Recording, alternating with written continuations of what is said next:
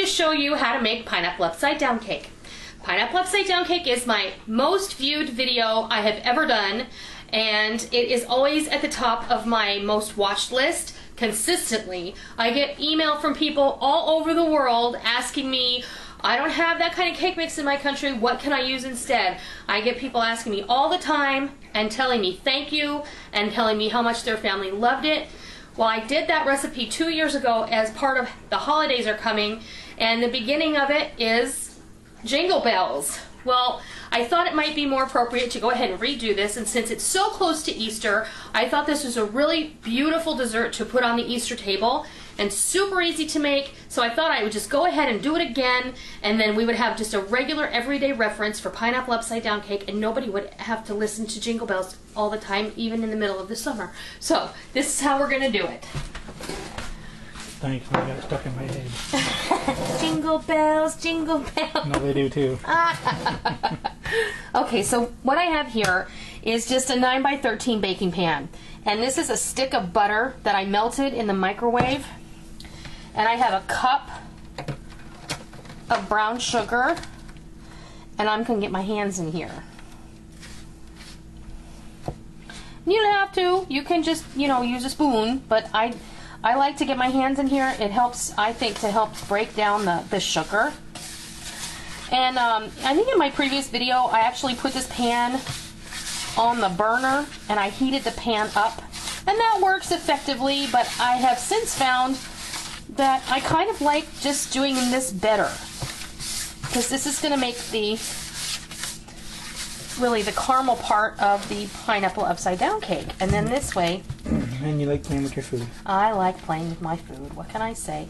And this also helps you to evenly kind of spread out because essentially what you are making is a caramel. And then you'll be able to feel if you have any um, hard lumps in the um, brown sugar. Sometimes that happens, you know, it happens to all of us.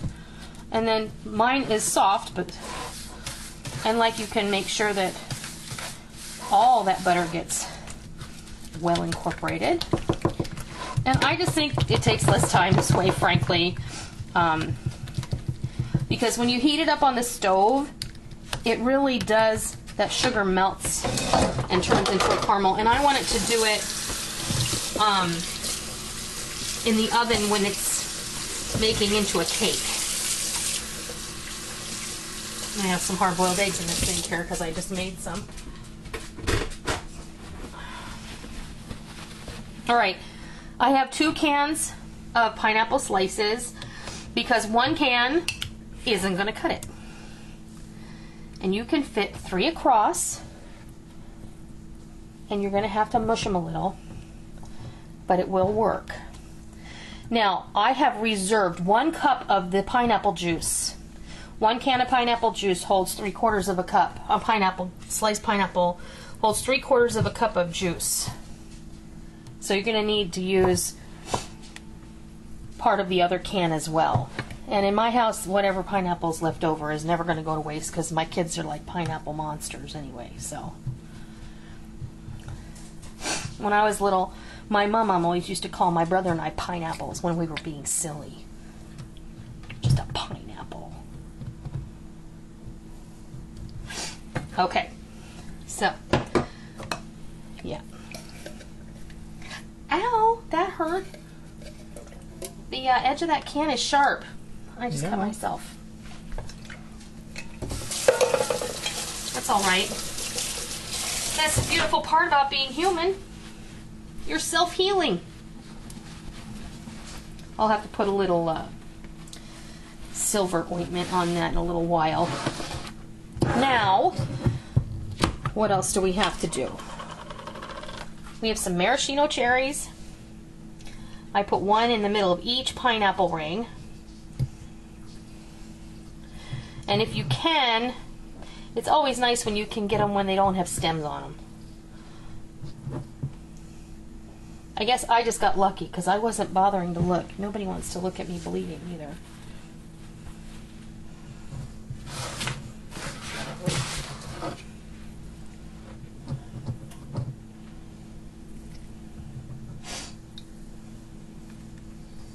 And I'll have this recipe written and available on my website, so you can go over there and print out a copy for yourself. So don't worry about trying to write this down because, you know, sometimes it's just fun to watch somebody do something. Okay, I'm just going to put my pan over here because we're done with that part of it. And I have my mixer bowl, and I'm going to put the lid on these cherries because that's just a disaster waiting to happen. Okay. You all know that I use only Duncan Hines cake mix. I use the pineapple cake mix. If you cannot find pineapple cake mix, don't worry about it. Use yellow cake mix. Okay? If you don't have cake mix in your country, you can make a simple yellow cake. And you can use, like, if you're going to make a, a two layer cake recipe, will be fine. Let me grab the scissors, sweetheart.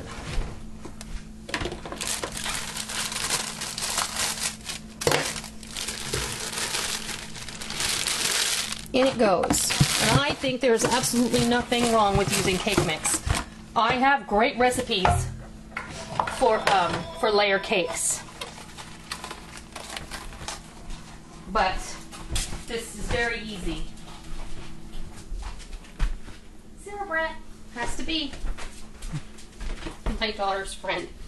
I'm just gonna take a moment and I'm gonna put a band-aid on this. My dollar store band-aids. There we go. Now nobody has to worry about that. Okay, next thing, so we've got our box of pineapple cake mix or yellow cake mix. But don't use white cake mix because that, that won't come out right. Okay. One box of instant, instant vanilla pudding. Don't get the cooked pudding because that won't work.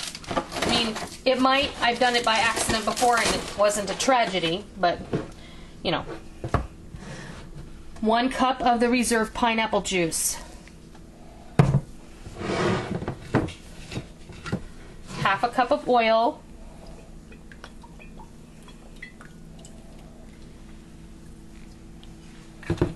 And this is sunflower oil.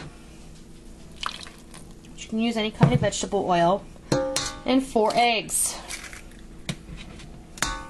And don't throw those shells away. Wash them out. Either, if you got chickens, feed them back to your chickens. Or, it's garden season, you crunch those up and put them on your flower beds or in your vegetable beds. And it will feed them calcium and they will be very happy. Alright, now we're to mix this up.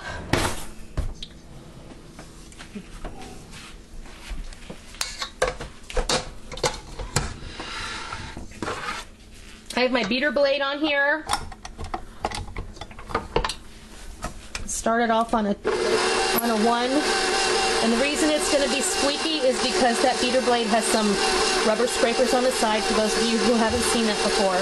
And sometimes it gets a little squeaky. We're going to mix that until it is fully combined.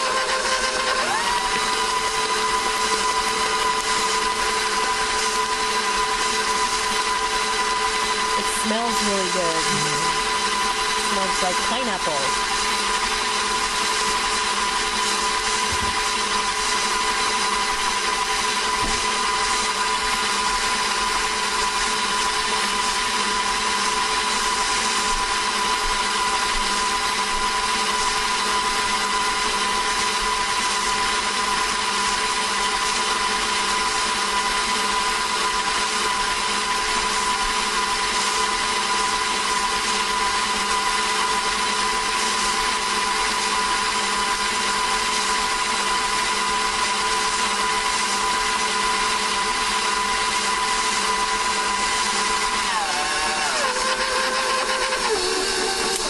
To mix it until you start to see that it has very few lumps in it and it looks smooth. I mean, that's when you have a KitchenAid, you know, if you look at the side of the cake mix box, it's going to tell you to mix it for two to three minutes.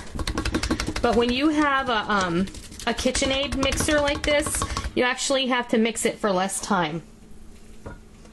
So, I'm going to bring it back over here. Move all this stuff out of the way. Can you hand me that rubber spatula, sweetheart? Thank you.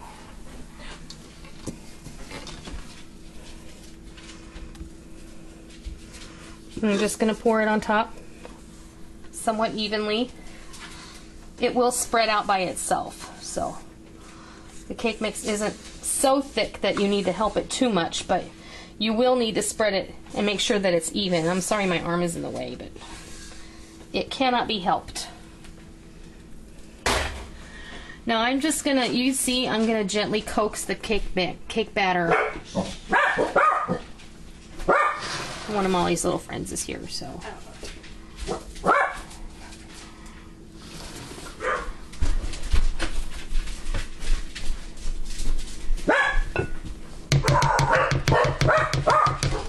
Okay, jeez.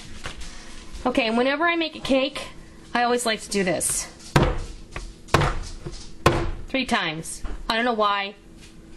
Nanny did it, my mom did it, so I do it. Good luck. I don't know what it is. The good things happen in threes, bad things happen in threes. I don't know. My brother used to say it's to get the air pockets out. It is to get the air pockets out of the cake batter, but you know. And um, I've got my oven preheated at 350 degrees. And because this is a juicy cake and it's got, you know, we're making a little caramel in there, I'm going to put this on a pan. Lord. Everything is with a piece of parchment in case we have a, a boil over it's not going to get on the bottom of the stove. It's going to get on this baking sheet. Okay. Into the oven it goes i'm going to set my um, timer for 25 minutes when i can start to smell the cake i'm going to check the cake regardless of whether or not the timer has gone off because your nose is your best indicator when it comes to a cake. It's a reminder that, hey, I'm in the oven, you need to check me. Because if you can smell it, it's probably close to being done. So when I can smell this, I'm going to come back and I'm going to show you what it looks like.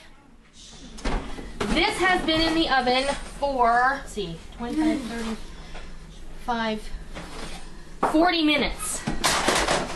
I actually checked it at 25 minutes and it wasn't done. It's just right now. There's just a few little crumbs on there, but you're good to go. All right, now, you don't want this to sit around because if you do, you run the risk of having this not come out of the pan. I need to move this over here. This pan is hot. Okay, now I have a baking sheet that I have lined with aluminum foil. And I have put my hot cake on it. And I'm going to flip it. Get that out of the way. I believe we're good. Let's see. Okay, I need a knife. Let me grab a knife. A butter knife? No.